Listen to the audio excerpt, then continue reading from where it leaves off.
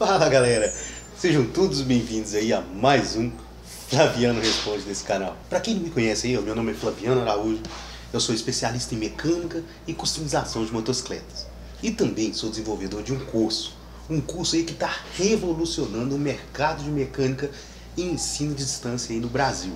O curso está incrível. Se você aí ó, quer aprender a mecânica do absoluto zero e fazer a diferença aí na sua cidade e não tem aí perto de você uma instituição que te ensine, eu tenho uma solução para você. O meu curso. Vou deixar o link aí na descrição desse vídeo. É só você clicar, fazer sua inscrição e vir aprender a mecânica com a gente, ok? Então, sem mais demoras aí, bora pro vídeo!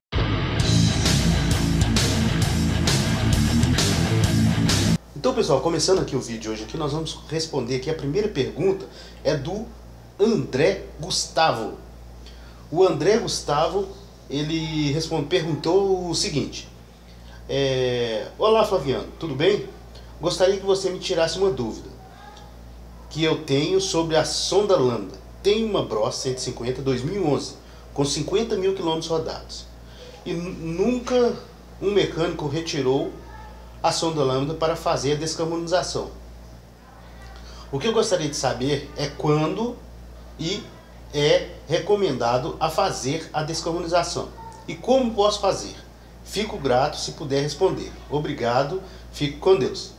Ô André, muito obrigado aí pela pergunta, tá? André, eu faço o seguinte, toda vez que eu faço manutenção numa motocicleta, eu faço a limpeza da sonda lambda certo? É bem simples fazer a descarbonização dela. Se a sua nunca deu problema, tá bacana aí. Mas aí você vai fazer o quê? Você vai retirar ali, a sonda lambda é uma chave 17. Você tira a sonda lambda da motocicleta e pode bater um descarbonizante nela e deixar aquele descarbonizante pingando ali e até secar. Na hora que secou, você viu ali, você passa um papel, vai, ela vai ficar limpinha e é só voltar ela para o lugar novamente, tá? Aqui, ó, os tipos de descarbonizante que eu posso te falar, tem vários no mercado aí. O que eu utilizo aqui na minha oficina é o Caro 80, certo? Que é esse aí, ó, o Caro 80. Mas tem vários, tem uma infinidade de descarbonizantes no mercado aí, muito bons, certo? Tipo aí, ó, esse aí, ó, da Vurt, tem Ultralube, esse da STP também é muito bacana, muito bom esse orbe. Então, tem uma afinidade aí, ó. Você pode procurar na internet aí, ó. TK800, veja só, da Wonder. Então, tem para todo gosto e preço aí. É só você tirar lá a sonda lâmina, bater o descarbonizante e passar um papel que vai tirar toda a sujeira ali. E você pode remontar aí a sua sonda lambda novamente sem problema. Ok? Então, muito obrigado aí pela sua pergunta, viu? Espero ter te ajudado aí. A próxima pergunta aqui é do Ubiratan Lopes. É, Flaviano, a minha moto está rangendo a balança, mas ela não tem folga. Será que eu preciso trocar essas buchas ou só tirar, lubrificar que dá certo? O que pode ser? Ô, ô Biratã, é o seguinte. Primeira coisa, você vai ter que desmontar, ok? Então desmonta, aí você vai pegar ali a, a, a bucha e vai tirar aquele pino dela. No pino dela você vai ver se ele tem desgaste ou não.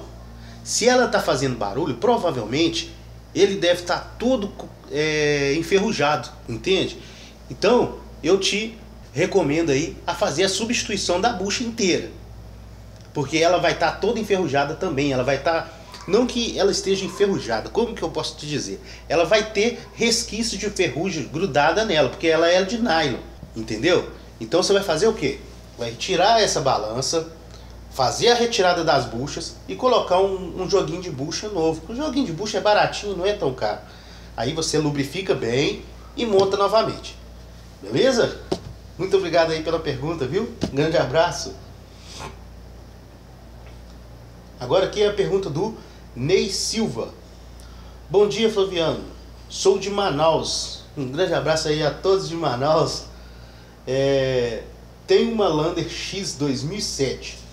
Quando estou andando, acende a luz de injeção e dá o código 45. O que pode ser?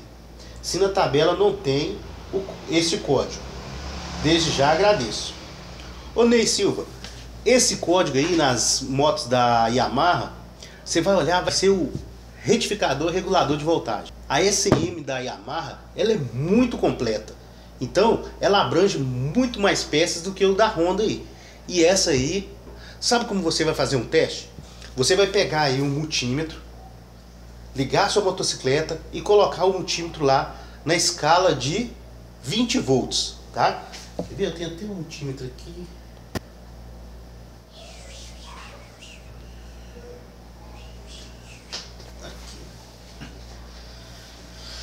Veja bem. Você vai pegar, vai colocar aqui, ó, nessa escala aqui, ó, de 20 volts, ok? Então, aí você vai colocar lá na bateria, positivo e negativo, e liga sua motocicleta. Aí você vai acelerar sua motocicleta e ela tem que chegar até 14, 14,5, estourando 14,7 ali, ó, tá bacana, beleza? Aí, se caso ela passar disso, quer dizer que o regulador ele não está regulando a carga. Aí é necessária a substituição. Bacana? Faz esse teste primeiro, tá? Na sua motocicleta aí e vê se é isso mesmo. Porque geralmente quando dá esse código aí é o regulador de voltagem que não está fazendo o serviço dele direito. Ok? Grande abraço aí, muito obrigado aí pela pergunta, viu Ney? Espero que você consiga aí resolver o problema da sua Lander. Então aqui agora eu vou deixar alguns salves. O Reginaldo Ferreira, muito bom, bem explicado, você é demais, muito obrigado. Eu que te agradeço, viu Reginaldo? Valeu aí pela mensagem. É, Milton Oliveira, Flaviano, parabéns. Eu consegui, eu consegui limpar o carburador da minha Suzuki Intruder somente olhando seu vídeo e pausando. Obrigado mesmo, valeu. Ô Milton, eu que te agradeço, viu? Muito obrigado e fico feliz aí que você tenha conseguido resolver aí o problema da sua motocicleta assistindo aos meus vídeos. Valeu aí. É, Walt Games, show de bola. Seu tuto é, me ajudou muito. Fico feliz aí, viu, Walt? Muito obrigado aí pelo retorno. Então, pessoal, por hoje eu vou ficar por aqui, tá? Semana passada eu não apareci por aqui muito, né? Não, eu tava muito ruim de gripe. Ah, eu tô ainda com, com o nariz entupido ainda, tô falando ainda com essa voz de pato rouco aí, mas não vou deixar de aparecer aí essa semana, ok? Um grande abraço a todos aí e até o próximo vídeo. Valeu!